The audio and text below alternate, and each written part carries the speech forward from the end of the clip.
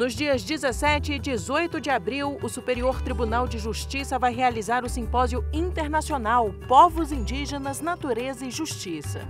A inscrição pode ser feita no portal do STJ. Na página você também confere a programação completa do evento. Então não perca tempo e garanta já sua vaga.